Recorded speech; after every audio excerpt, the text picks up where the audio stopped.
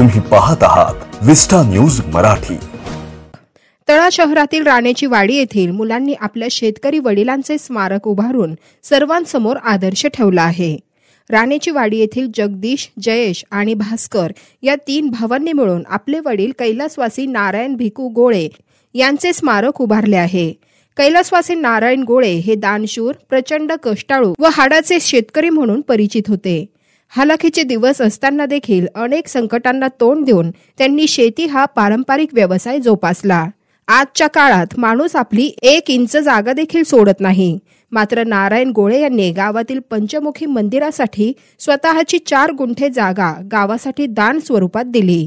त्यांची ही दानशूर वृत्ती जनसामान्यांपर्यंत पोहोचावी या उदात्त हेतूनं त्यांच्या तिन्ही मुलांनी मिळून गावात त्यांचे स्मारक उभारले. व त्यांच्या स्मारकाचे उद्घाटन आपली आई शेवंती नारायण गोळे यांच्या हस्ते केले. तळा तालुक्यात मुलांनी आपल्या शेतकरी वडिलांचे स्मारक उभारल्याची ही प्रथमच घटना असून गोळे बंधूंच्या आपल्या वडिलांप्रती असलेल्या प्रेमाचे सर्वत्र कौतुक करण्यात येत आहे.